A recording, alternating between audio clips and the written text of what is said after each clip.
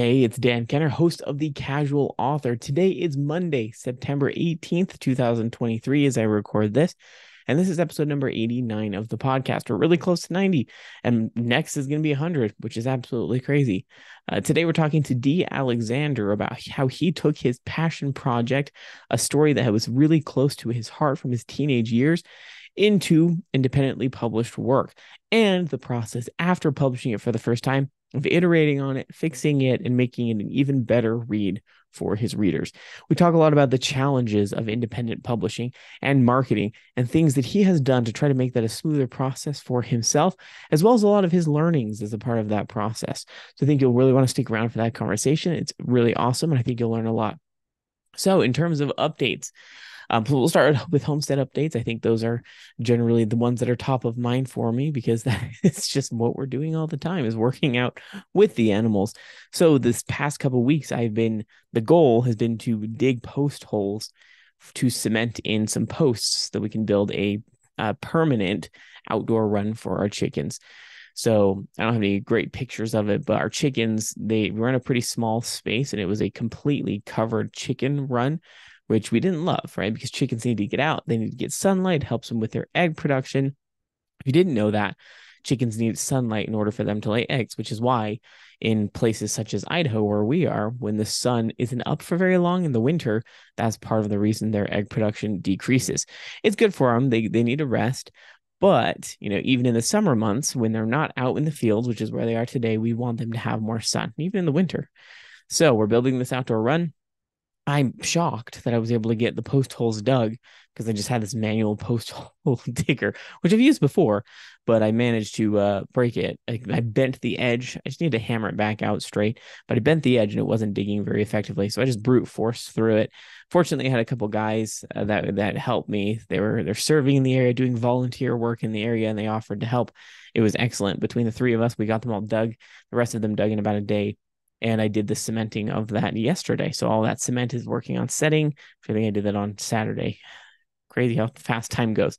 Saturday I did the the cementing. They all look nice and straight. It's perfect. Once that cements perfectly, then I'll put up the the boards, the cross beams, and then we'll put up the chicken wire, which we're gonna try chicken wire this year. It's not as secure as hardware cloth.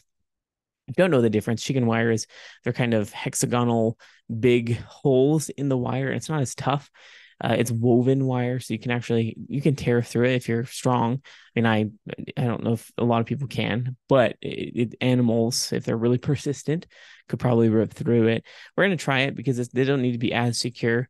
Um, normally, at least this is what we did our last one, we would put hardware cloth, so it's thicker wire and it's like a beast and when it scrapes you but it's just woven wire uh, that's really tight and stronger and very thicker thicker and harder. It's a bigger gauge. And so like i said when it when it scratches you you'll be cutting in because it's in a roll. Um, once you cut the last thing if you're not careful it'll snap back and it'll just rake against your skin. I have tons of scrapes, not this last time, but when I've used hardware cloth in the past, it just tears you up. so that's good though because it protects the chickens. this case, we're just gonna use chicken wire. I'm sure it'll protect them just fine. But I'm pretty happy where with where we are now. About a month ago, if you asked me would I be done with the post holes and cemented in, I didn't think that I would. It was just taking so long to dig those post holes, and I didn't have a lot of time per week. But that's good. Those are done. Um, in other news, we'll start with the good news because we don't want to get into the bad news right away. Um, the the other good news is that we sold the final three baby goats. We've never had baby goats take this long to sell. We, we're grateful that someone asked for all three at the same time, which was perfect. Then they had a place to go. They're going on to another farm with lots of other animals, and they're going to be pets for kids. So they're going to just have a blast. We're really happy that they found a new home and that we don't have to feed them. They we just had no need for them. Uh, we already have plenty of pets. Plus, they uh, they're just eating lots of hey, our hay resource was going, it was getting eaten very quickly. So very grateful that they have a new home. Um, and we you know we didn't charge a crazy amount for them because we really just wanted to rehome them. It was either that or I hate to say this, it was either that or the freezer. And I didn't want to do that, but you know, you do what you gotta do. It just made sense. But I'm happy that they're pets now. So that's all perfect. Um, in other news, the sad the sad news is Emma. I don't know if you're, I've talked a little bit about Emma before.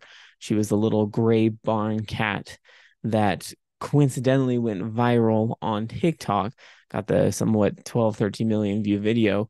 Unfortunately, she got hit by a car this last week. So that has not been the best thing in the world. The the reality of it is barn cats living outside.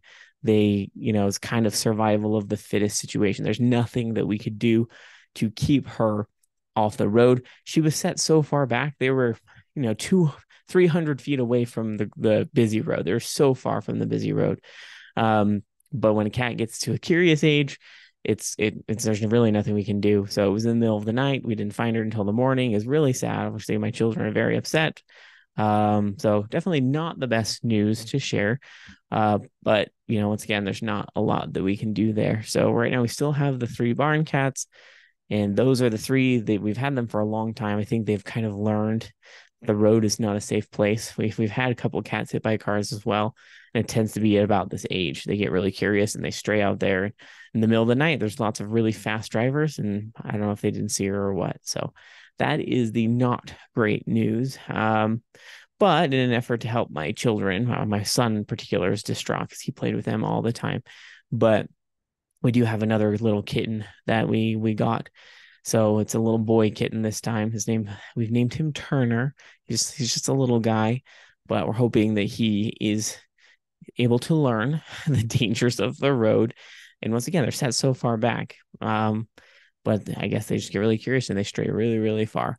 They've got plenty of place to roam away from the road. We're hoping that he chooses to stay where his mom is and the other uh, people are, the other cats are, and everything will go well on that front. But you know, it's hard to say. We'll see. In any case, that is one of the unfortunate things that happened this week. But other than that, we've been spending a lot of time taking the milk that we're getting. We're in a really high milk production period. So we are turning that into cheese and freeze drying it as much as possible to store it for the winter. So my wife makes about I want to say six to seven pounds of cheese per week. Hard cheeses such as cheddar, farmhouse cheddar is what you call it. She makes Gouda, Butterkäse. She does make lots of mozzarella, mozzarella as well, which is great because we make homemade pizzas. But we're just storing that as much of that in the freezer as possible. It has to or slash the fridge. So a lot of the cheeses have to um, sit for a while. It makes them, you know, get sharper and more flavorful. So they'll sit for like six weeks to three months. You just vacuum seal them and let them sit to kind of make their flavor more robust. But that's where we are with the homesteading. Um, I think that's everything. Updates. There was a lot this week, but let's see. Uh, in terms of author updates, I did take a little bit of a brief hiatus from editing to write a short story, which is something I've never done before. So uh, we're I'm part of a writing group. I think I talked a little bit about this last week. The writing group we decided, hey, let's enter this competition. It's a short story competition that goes on every quarter, and they said, let's just do it as a group. It'll be fun. We'll each write one and then read each other's and critique each other's, and then we'll all submit for quarter four of 2023. And I had no experience with writing a short story. I did end up finishing it. It's just over 15,000 words, which I don't think is normal for a short story, but I'm proud of myself because I don't, I'm not great at writing short things. And for me, I felt like it was really great exercise to write a story in completed form in such a short amount of words. So, like I said, it's just over 15,000 words. Um, the limit is 17,000. So I met it. But there were a couple things I had to skimp on detail wise because my inclination is to just add so much. I'm an epic fantasy writer. and I just want to write a lot of stuff. So it turned out great. Uh, the feedback I got from my group was that it was excellent. I thought it was really right there. Just had to tweak a couple things, a little bit character development that I skimped on knowingly because I didn't want to get too close to the 17,000 word limit. I don't want to be that guy that submits a 16,999 word short story just because I can. So I tried to keep it a little bit shorter. It did mean I skimped on some things. So I added more to fix those things and cut from other unnecessary places. But we're in a place that I think is good. Now, I've I've called it the title of it is the seduction of thieves, and I think that probably what's going to happen is um, whether or not I win this competition. Which if I do, great. If not, I'm still going to use it. I will probably cover it myself, and then I will give it away free with Shielded as a prequel story. So when I wrote this story, it kind of was framed to be the starter or the prequel to an epic fantasy series. I don't know how many books. I would love to write almost like a serialized mystery type fantasy series where there can be up to 15, 17, 20 books. You know, I'd love to do something like that. So I think that's what I'll do with this. I'll give it away for free and have it be a lead in. Now, I'm not going to write those other books probably for a while, but I figure why not? It's a story. I can give it away for free. Maybe people will be enticed by it and you know start reading something like the Lightbearer Chronicles or some of the other books that I'm writing, even though the style is a little bit different from the YA series Dragon Blooded that I'm writing. Uh, I have not touched Dragon Blooded edits since I got them back still for a good reason because I wanted to get this short story done. I didn't want to be distracted. And then I do want to get the Cyber City books out as well. So I know my co-author is currently waiting on me to finish my edits for those three books. I finished book one, which is excellent. I'm on book two. It got a little bit slowed up by some unfortunate circumstances. Um, the book it already had some edits, and I had to go through and review those edits before I could go do my own edits. Anyway, it's not a problem. Now I'm going through and doing it myself, hoping to finish those edits by the end of this week. Jump into book three, and if I can get that finished, you know, within a week or two period, then I can finally get into the Dragon Blooded edit. So that's the hope. There's just so much going on. I don't probably shouldn't work on so many projects at once, but you know, it is what it is. But yeah, I think I think that's it for the author updates. Other than that, if you are if you haven't joined my email list, I welcome you to. You may have noticed that I did not send one last week. I think I'm planning on s- scaling back to every other week for my email list. That's once again just to account for time, make sure that I can do it the best that I can and not feel too rushed. In the past, with my weekly email, I felt like I was a little too rushed, putting unnecessary slash really unclean writing in it, which isn't great. Uh, in fact, a couple weeks ago, my wife said, uh, "Do you want me to proofread your emails before I send them?" I'm like, "Oh no." what happened with it? She said, "Oh, there's just lots of typos in it. So not a huge deal. None of them were overly embarrassing, but obviously any typo isn't great. So in any case, that being said, I don't want to feel too rushed. I want to make sure that I'm sending it out in the proper cadence. So every other week is where we're going to land for sending out that email. If you have any questions or concerns, definitely let me know. Now, because this podcast does not have any sponsors, um, I will add a little note for myself. If you are listening to, to this on Apple Podcasts or somewhere else where you can leave a review, I'd really appreciate if you could leave a review slash star rating. Just let people know if it's, you know, what value you find in it. Share with your friends as well. I'm hoping to get, I'm trying to find more listener base. Social media isn't kind of reaching the audience that I'm hoping to reach. So if you know any other authors or writer friends or people that would be interested in listening to this content, definitely would love it if you could share and help in any way that you can. So I appreciate that. I don't believe there's any other updates. We can go ahead and shift over to the interview portion of the podcast.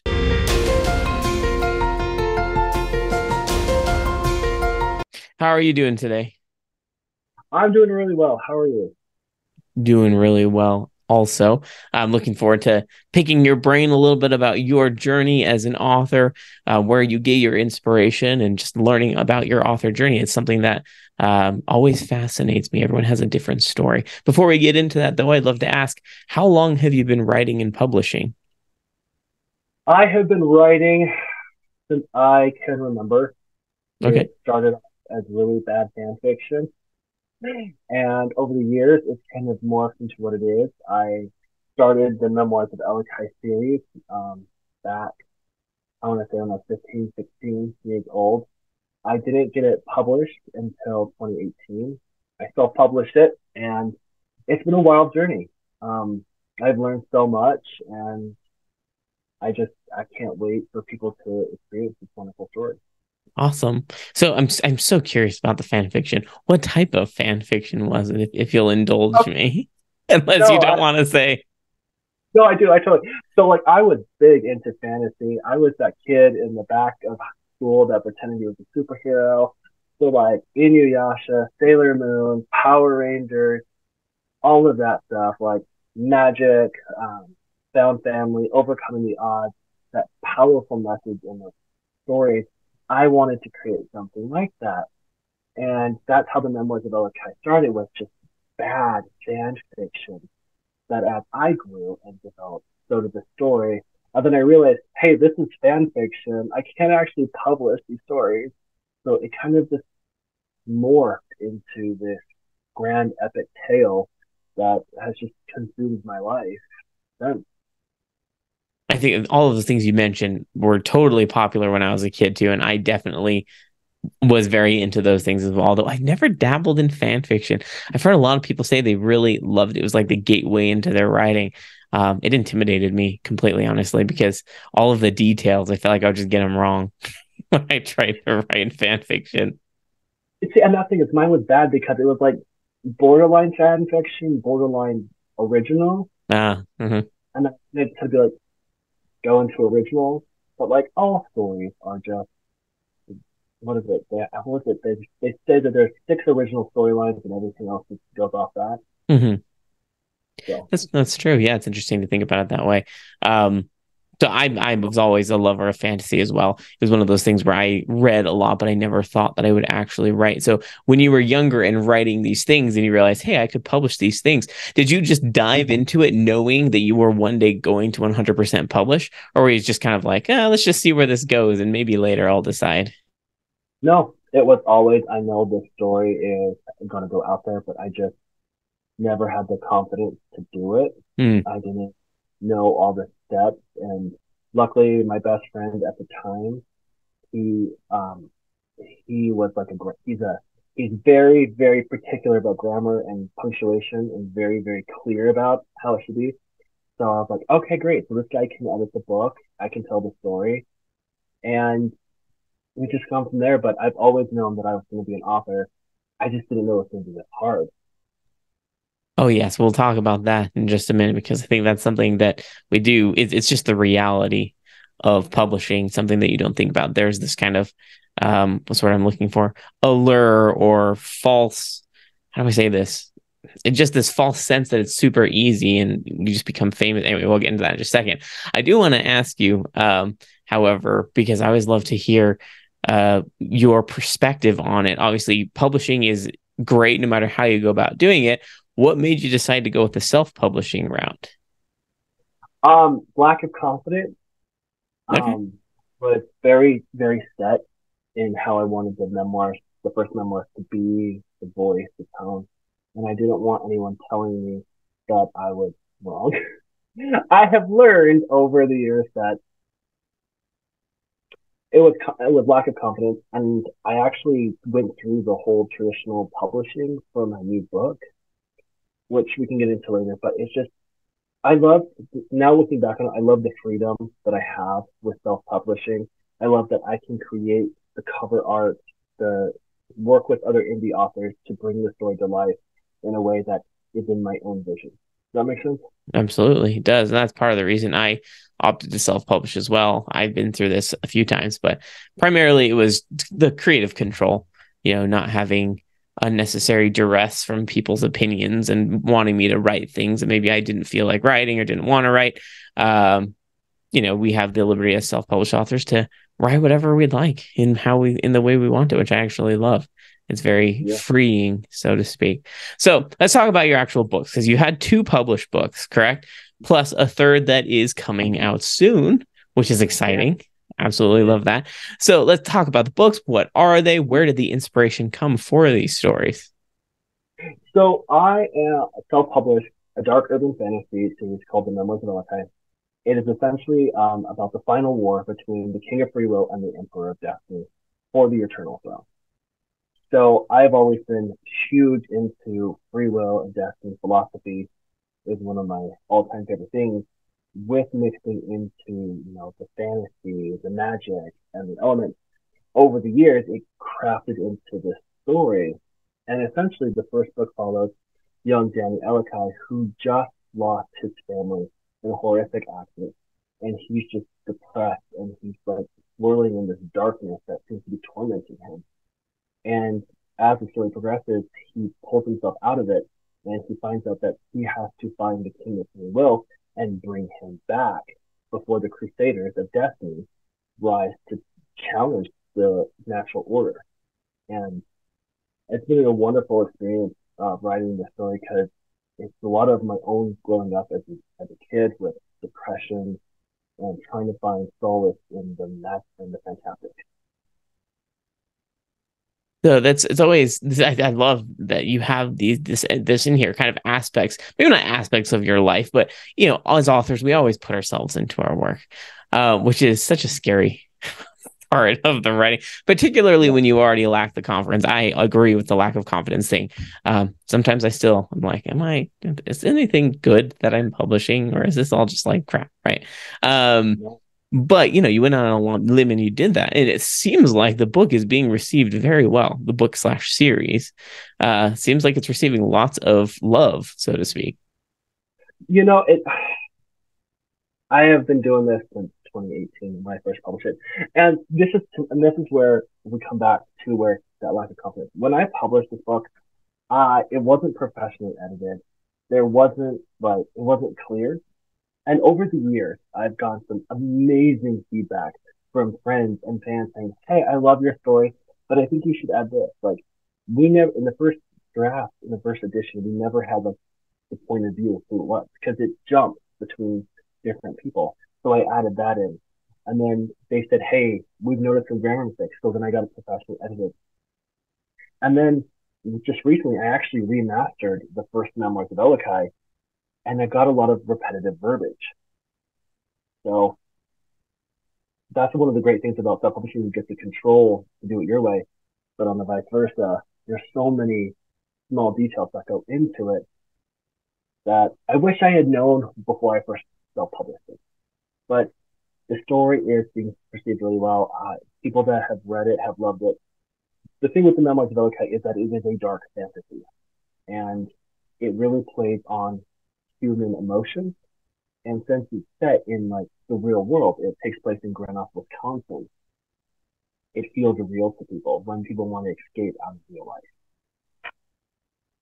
That's so interesting. I mean, I knew it was a dark fantasy. So, but you know, dark fantasy set in in the real world definitely does kind of blur the lines for some people between reality and your book, which I think is great. That's part of reading to be able to escape and just dive into the story. Um, which is kind of fun. I admittedly haven't read your book. This is one of the things as a podcast host, I would love to read everybody's books prior to having you on the podcast. I have seen it, and I've read the description, and it does look fascinating. It looks great. Um, but I want to ask you because we talked, we'll get to the challenging aspects of the authoring. And I do, I don't want to forget talking about your book that's up and coming. But just while we're in here talking about the uh, authoring journey, I want to know from you what is the most rewarding part of your journey so far as an author? It's been the response from the fans. I actually just one of my close friends on TikTok, she actually surprised me today on Instagram and she drew the characters from the memoirs of Elokai, the kings of free will and his two generals from the second book. And she created artwork for them. And I got to see them through her eyes. And it was just so amazing to be able to see how she sees these characters and how much they impacted her. Like, like the second general of free will, Amari, she is from Africa. And to see that representation and she got to see herself as a general of light, a general of free will, one of the top generals. And it meant the world to her. And for her to create that for me, because she was so proud of it, it just blew me away and I like have it saved. I'm gonna get it printed. I'm just I'm really excited. But that's the best part of it is watching people fall in love with these characters and find their own representation, not only in the story, but like as a general, as a king. Like it's just one of the best parts for me. Absolutely. That when you find even, you know, readers in verbal ways just say, Oh, I loved your book. I really enjoyed X character. It's so fun because they they sometimes will love different things than you thought they would. Like, oh, you love that side character. I didn't expect that. But just the fact that they get so into it. And that's that's literally every author's dream is to have someone reach out to them, hey, I drew this art or I painted this or whatever of your characters. Like I would be so thrilled. I think that's awesome. See, I've had it happen to me twice, and only twice, and it's been amazing. I think the best thing for me is one of my friends. He um he stopped reading years ago, and I just like, hey, you know, I've had some really good feedback. My best friend's mom, she hasn't read a book since she was like 20. She's now in her 60s. She picked it up and she loved it. Why don't you do it? he picked it up and he finished it in the weekend, and it re-inspired him to start reading again. So, I mean, that's just those are one of the top two things that as a writer you can strive for. The other one is your book saved my life. Yeah. So those are the top three goals, and I've hit two of them. And at the end of the day, that that's good. Well, and you still have time, right? The great thing about publishing is it's going to be there forever, right? Yeah. So you you've got some time to to um, reach those other goals, uh, even though it feels long and sometimes yeah. arduous. Yeah, but when you finally when when you finally get there, and you know, like I said, I've only have two books out in the same series, so hopefully with the set with this new book coming out, I can reach a wider audience, and especially with the first two memoirs being cleaned up to really enhance the story. So I'm back to your thing. I'm really glad you haven't read it yet because now you get to experience it in the way that it should have been at the at the beginning. yeah, there you go. I'm glad that I got busy, so that it's it's it all works out in the end, right? That's perfect. It really does. But the thing that you learn as an author, whether once again traditionally or independently published, there are so many things that we say, I wish I knew this at the beginning. And we can't even go through the list. Like there's just so much. I'm constantly every day like, oh wow, I wish I knew that three years ago. Right.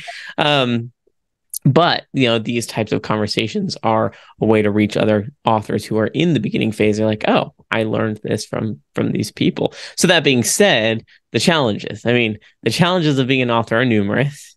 But I am curious to know from you what what are what has been the most challenging part of being a an author, a self-published author?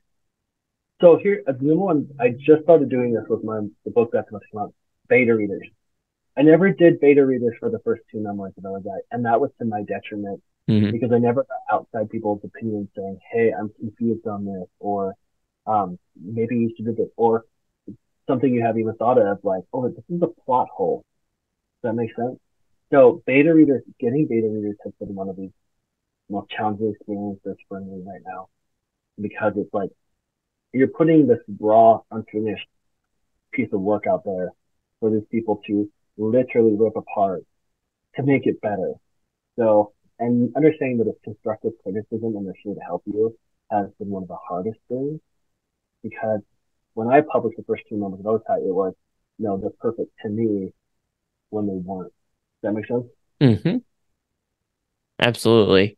Um, yeah, exactly. Something that like beta readers, I definitely didn't have beta readers as well with my first couple books. And it's one of those things you just realize feedback is good. it's painful sometimes, but it's it's good and it's important because as authors, sometimes we get in our head about the way we think a story should be and how fascinating a concept or character will be. And you give it to someone who's a reader, you know, they look at it from at face value and they're like this is the, the reality. This is what the i'm perceiving what you've given me. Like that is not what i intended. So especially and you have to have a diverse um a diverse population of ARC readers mm-hmm. to get different perspectives on one person understands it but the other person doesn't. So then you're like well what do i like how do i bridge that gap so I'm curious how do you bridge the gap? so like how how have you approached it as an author? So actually, I had this just happen in my new work of progress that's coming out here soon, and I had two different conflicting uh, opinions. One from the perspective of the character, and one from an outside perspective. And it was saying, "Hey, I didn't really understand this character in the beginning," versus the per- the person who comes from that perspective. No, I totally understand it. And it was saying, "Okay, so like as me as a queer man, I understand this perspective, but someone looking on the outside of that, how do I make it more clear to them what's happening? And that's just being a little bit more detailed in like the characters, like why this is happening, why am I feeling this way, instead of making it vague. Because I will understand it, but that doesn't mean someone else won't. So it's just opening up the dialogue a little bit more to kind of bridge that. No, it's an interesting. Will I be successful? We'll find out. Well, I mean, I think that's a really healthy perspective to have, right? Because we can't implement every piece of feedback that we receive because otherwise it would just get you know, confusing and it might get a little muddled because everybody has different opinions. But you recognize, okay, why is this person feeling or experiencing this these questions?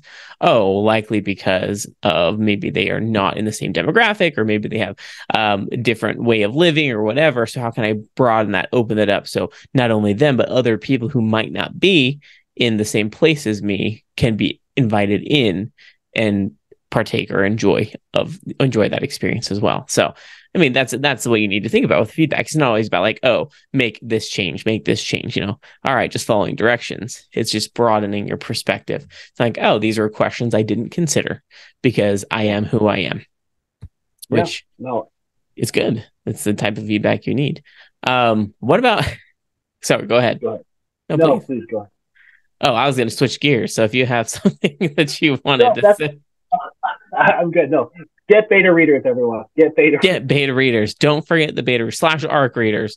You know, yeah. different steps of the process, but simply important feedback from them.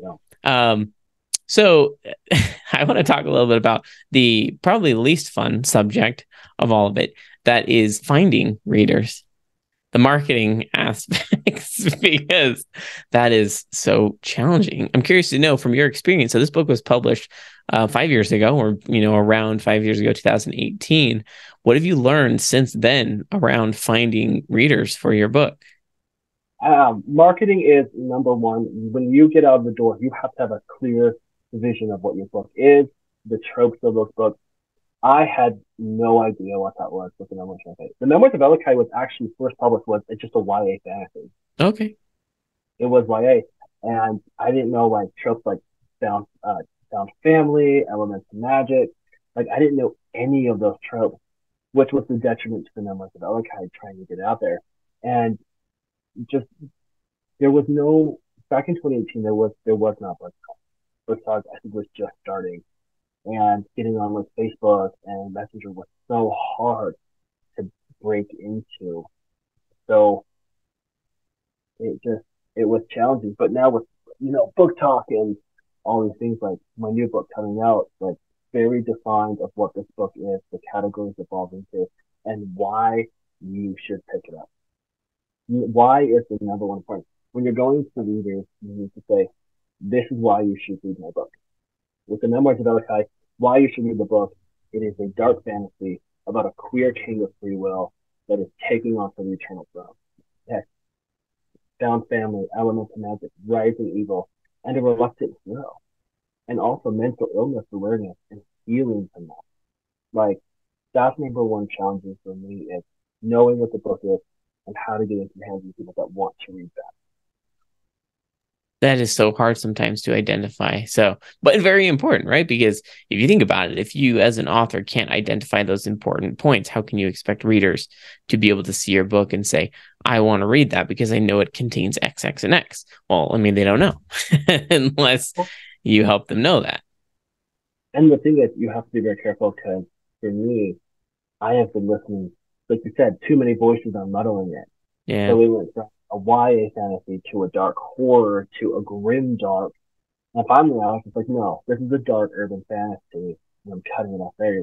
Listening to outside perspective, at the end of the day, knowing what your book is about, and how to get into the hands of these people. Like, the Memoirs of Ellikai is an amazing, beautiful story, but it's painful. And some people just, they're not ready for that. Mm-hmm. Maybe they're not. They're looking for something a little more light an airy yeah. fantasy because those exist and there's nothing wrong with those. Entertainment is entertainment and it's there's emotions all over the place. It can be light and fluffy and it can be heavy and dark. And you know, it's just you got to know what you're looking for. Don't want to be um, incorrectly surprised by the content that you're reading. So let's talk about this new book that's coming out. Is it related to your current books? Is the story completely different? Is it another dark fantasy? No. So um Dawn God's United Reich is a uh, gay dystopian romance. It takes place in the year 2122, about 150 years after this religious ideology overtook the American Republic. And it's about these two young men who meet, it's love at first sight. They fall madly in love and navigating this under this tyrannical government that will kill them if they find out. And it's about him Leon, the main character, taking a blind leap into true love as his uncle is going to be chosen as the new divine leader of the of God's United Reich. And it's not the story you think it is. It's all about overcoming darkness, love, and light. And I'm really excited about it because go back to one of the most challenging things about marketing is this book is all about love at first sight. It's a dystopian romance, hurt and comfort. And I'm just, I'm really excited about it.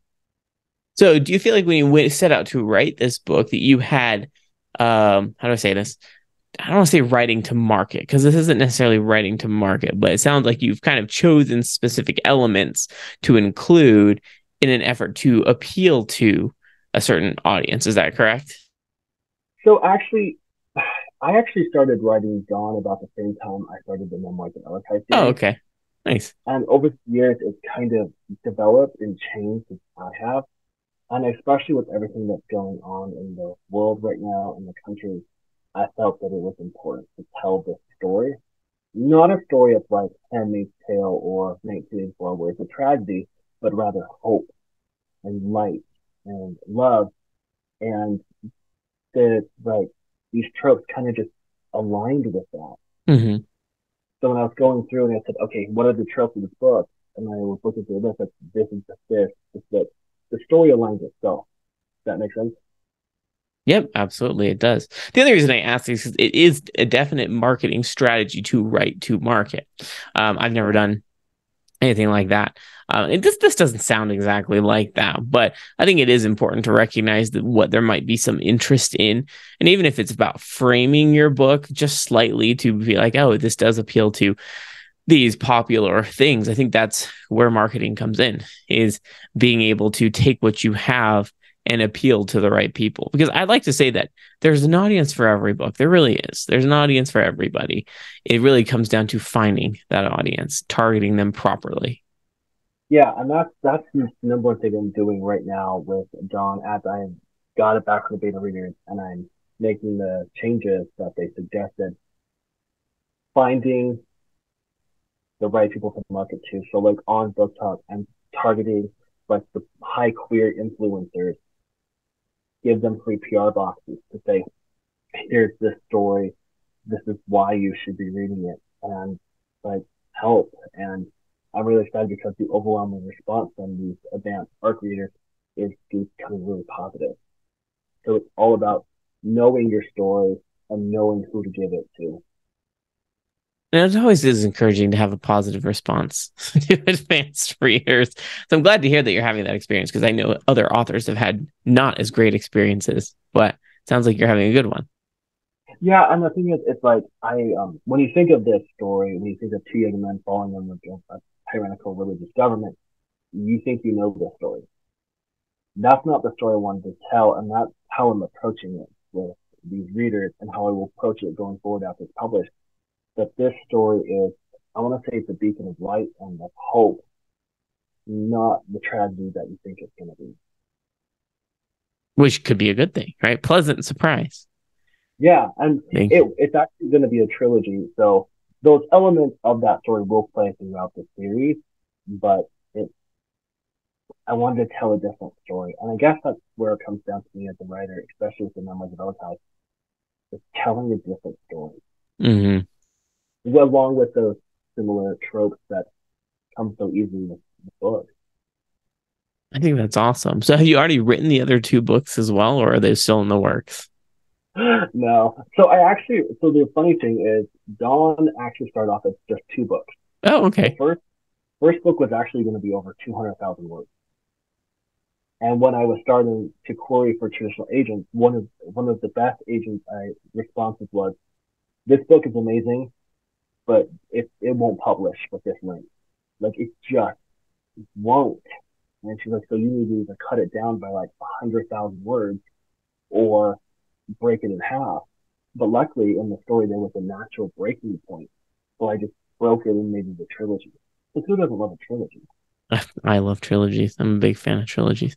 So with this book, is this that you're going self-publishing route for this one as well, Dawn, or are you, you are you going with an agent traditionally published? So I went through the process of publishing and I got so much amazing feedback while doing it that I felt with my marketing plan and the, the theme of the story that I could do it better self-publishing it. So that's what I'm doing. And awesome. Like I said, getting it right into the right hands, see people talking about it before the release. And then what comes after the release, you know, presenting like the character art, um, adding in the music that I'm going to have written for the story from my, my friend Tyler. He's a composer. Mm, cool. Keep that conversation open. You've got all sorts of cool friends.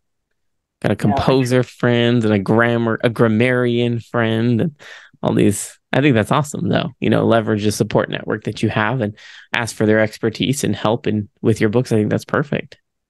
Well, it comes from years of desperate. Please help me. Well, yeah, we all find ourselves in that uh, phase all the time. The desperate, please help me. But you know, it's great to to have people that are willing to help, and it's encouraging, right? Because oftentimes, as an author, self-published author, particularly, it can feel very isolating, which is ironic because there's lots of authors that are doing the same things like us, but still, it can feel isolating. And you know, what's really funny is that I see all of these amazing people on TikTok, and I have made some incredible friends, you included in that. But it still feels so disconnected, you know? Mm-hmm. Like, you know, it's like, hey, I bought your book, and you're like, yay! And then nothing. Yeah. It, did it suck? But, and then you can't reach out to them and harass them about it? Yeah.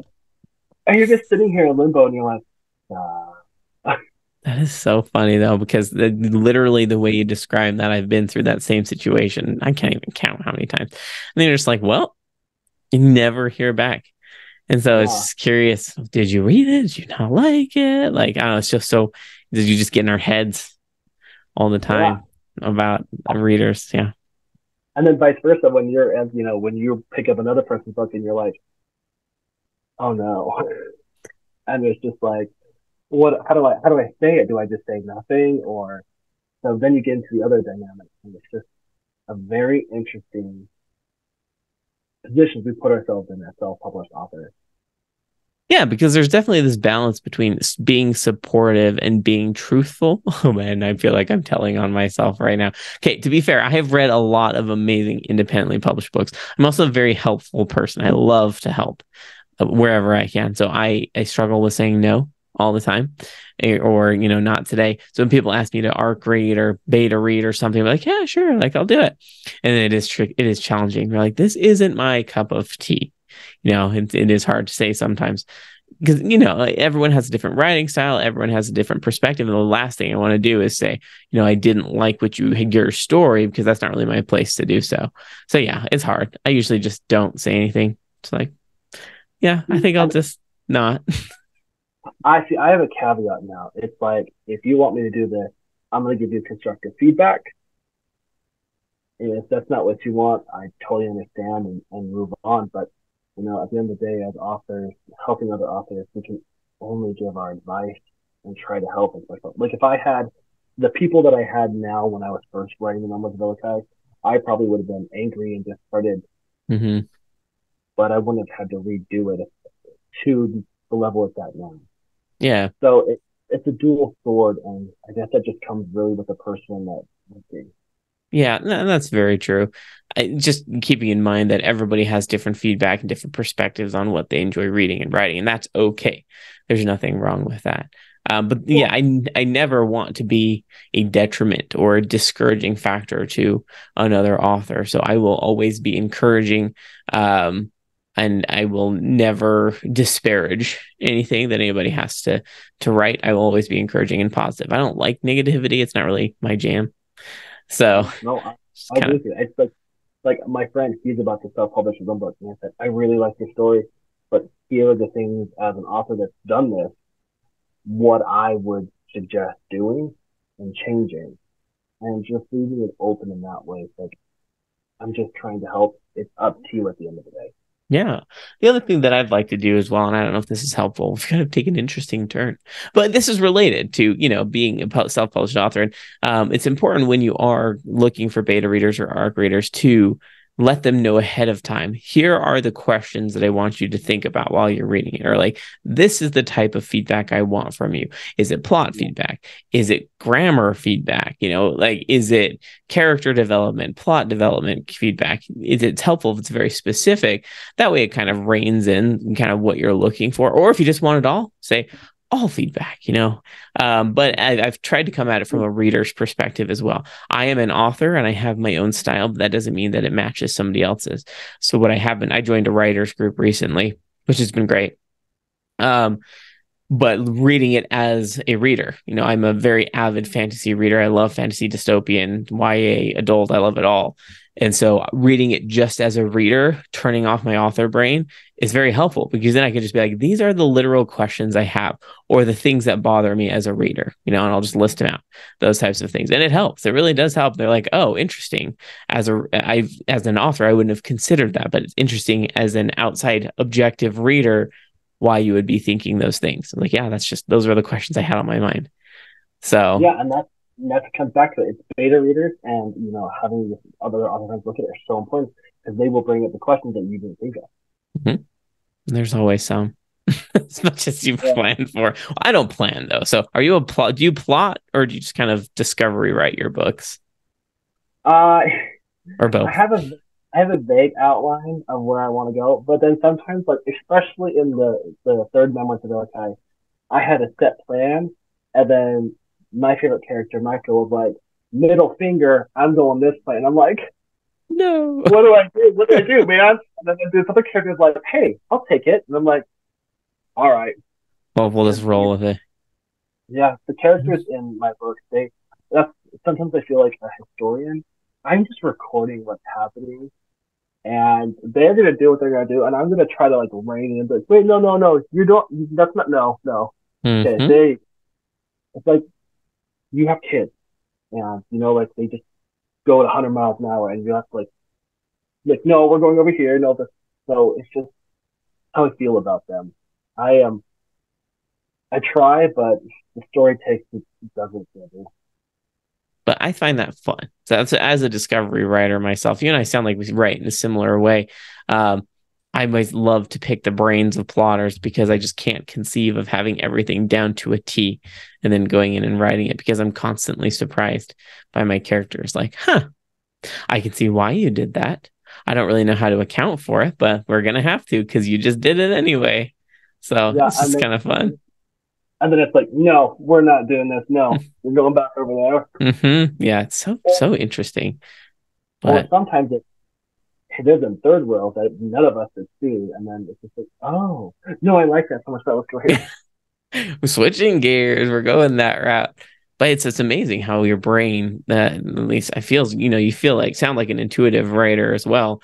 Just almost knits things together, and by the end, just like that wrapped up far more easily than I expected it to. So it's. You know, I, it, it is when you do read the memoirs of Velikai, if you read John, I don't wrap things up. Does that make sense? Yeah. Like, expect, especially the first two memoirs of Velikai. So the memoirs of Velikai is actually going to be a 12 book series. Oh, okay. Nice. Wow. And, like, I didn't know you're not supposed to end the book on a cliffhanger. Like, I didn't know that until, like, very recently. And the first memoir is just like, boom. And it's just like, but that's okay because, like, this is an overarching story. Mm-hmm. And I forgot where I was going with this and not wrapping it up at the end. Oh yeah. No. So nothing is like because for me, these stories, nothing is ever truly wrapped up. There's always that's life, and trying to do justice within that is my number one priority. Mm-hmm. Something to keep in mind as well.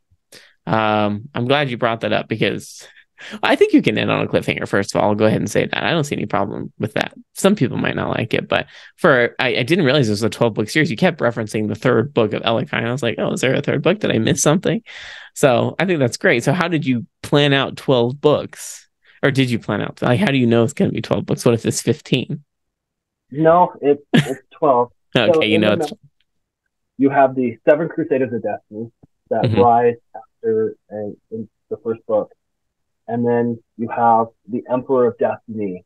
Then mm-hmm. you have this event that takes place that has to happen, and then you have the final war, mm-hmm. and then you, mm. how everything. So in the in the in the first moment of okay, the story starts with the final war is done, the victor has been crowned, and it's peace, and it's the historian telling his daughter the last soul in creation to decide how it all happened, how it all came to be. And like, it starts off at a pivotal moment in our world with Matthew Elliott, Danny's brother, waking up on just outside of Greenock, Wisconsin, as the first Crusader of Death is attacking. Mm. And it's hmm. the story of these Crusaders and the Generals of Free Will doing this dance with the overarching love story that starts to start playing throughout the series and how it all comes to a head in the final war. I know that's like so vague, but I'm trying to like not do spoilers, but it's Come on, I tell us what happens in the book. No, I'm just kidding. Don't. That's yeah, bad. how does it end? You're gonna be like, tell us. I don't like. I don't understand. How, what? like, I got my um. Well, my best friend decided to take on um editing content editing, and I was okay he sat me down. He said, "Okay, I need you to tell me everything." I'm like, "How much time do we have?" Okay, so we got like two hours. So by the end of it, he was drunk, and he got out like a mat board, and he was like, "I don't understand how you did this. Like, I don't understand how you created that." And I was like, "It's been in my head since I can remember. Like, I remember I was sitting in the grandparents' lake house." And I was watching Smallville. It was the 100th episode, when Jonathan Kent died. Mm. I was talking about destiny. And I remember looking over, and there he was, the Emperor of Destiny, Fantonic. And that's how it started. And it just, then I met Michael, my favorite character. Then over time, I met these other generals. And it wasn't until about 2015 that I got introduced to the main character, Danny. So it's just been a wild ride that I've been planning these books out and then how they connect together. So fun though. It's just such a fun. I, I, you know, hearing you say this, just like, oh, the fondness of figuring it out and how it all connects. It's just so fun. I love being an author. It's just too. really enjoyable. Now the problem is sitting down and actually writing. well, yeah, that's a different that is a yeah. different problem to solve. The actual sitting down and writing. Don't even get me started on editing. Um, editing is like not my favorite part, but we don't have to get into that. Uh, actually, opposite. I hate the I hate this first draft. Oh, interesting. I, and I go back and edit. I like actually, because the first part of the book and the last part of the book are two very different books. Mm-hmm. How I go through the revision process of blending them together. Like to me, that's that's the fun part. Ugh. so I just I don't that's not me. I think it's awesome. I'm slightly jealous that you love that piece of it. Just share some of that love over here. You know, some vibes I, or whatever. well, just the case, give me some of the first draft writing, and I'll give you some of the editing. Oh, I love drafting. I could draft all day, every day. I love drafting. It's so fun. So uh, I just enjoy it so much. There is a screen and go, how do I write? yeah, that's, there are days like that. But um, in any case, this has been an incredible conversation. We could probably keep talking, but we are running short on time. So before we end here, where can people find more information about you and your books? And if they want to be a beta reader, how can they sign up? So I am on Amazon. Uh, just write, type in the number of Velokai. I am D. Alexander. You can find me on Instagram, Twitter, Facebook, um, the new Sky one too. I don't know what that's about, but you can find me there. And honestly, just shoot me a message. Let's talk. Let's connect. I love meeting with my um, people that want to be fans and that are fans. And I just I love hearing from you. So just message me. I respond to everyone unless it's very mean, and then I'll cry and then block you. no mean messages. Don't reach out unless you're going to be nice. All right, perfect. Well, thanks so much. This has been a great conversation. Thank you. I appreciate it. Thanks for listening. I know that D. Alexander and I had a really heartfelt and important conversation about the reality of self publishing. It's definitely not all uh, rainbows and butterflies, but then again, no publishing process is. It was really good to hear his perspective on it and the things that he's doing to improve upon his self publishing business, as well as the books that he's writing. So there's just a lot of uh, balls to juggle, so to speak, with publishing, but you can find a lot of joy in doing it. I definitely recommend it. I've had an amazing experience. So next week, oh, I'll I'll go ahead and put a caveat in here. I know a couple couple podcasts ago I mentioned that I was probably going to scale back to every other week. Well, after having done that, um, I think that you know I found a lot of value in this podcast, at least for myself. I want to deliver the value that I think you can get out of this podcast. So I think I'm going to start again on the weekly. I did the experiment for every other week for about a month, month and a half, and it still just doesn't feel like enough. I found myself thirsting for these conversations, um, really seeking expertise and insight from other authors. It's just kind of part of what I want to be as an author. I want to be helpful. I want to make connections and meet other people. So we're going back to every week and we're moving into winter anyway. So the homesteading business is going to scale back we may have to look at a seasonal type podcast situation where once spring and summer hits, I do have to scale it back if the homestead work gets too busy. So we'll have to see. But for now, moving into winter, I think weekly is going to work just fine once again. So, that being said, next week we will be talking to Chad Pettit about writing from your heart and writing truth. So, it's a really amazing conversation. Uh, I'll talk a little bit more about it when the, we start the episode next week, but I think you're going to want to stick around for that. Chad has amazing insights on being true to your writing, being true to your characters, and writing truth in general. So that's that. If you liked this podcast, feel free to i'd love it if you would subscribe share it with your friends on youtube or any of the podcast systems you might be listening. Definitely let them know where they can find more information about the podcast dankenner.com slash podcast. And of course if you'd like to join me you can fill out the form at dankenner.com slash podcast. I'd love to meet with you and hear your insights as an author or um, anything related to publishing and writing editors cover designers you know anything business entrepreneurship a lot of it can be related to this industry. So once again thanks for listening and i can't wait to talk to you next week. Bye